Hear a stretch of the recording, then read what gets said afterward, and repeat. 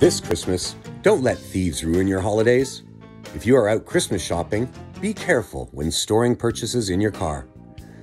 As people go about their shopping this holiday season, criminals are shopping too and looking for an opportunity. Help stop theft from auto by following some of these suggestions. Lock items in your trunk.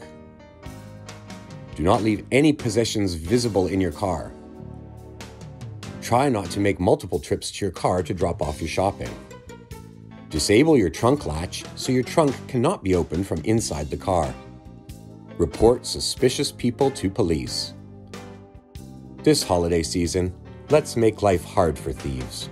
Hey, Vancouver Police, you're coming with me.